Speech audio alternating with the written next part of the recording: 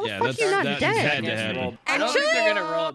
Actually. Actually, actually. All my friends are toxic,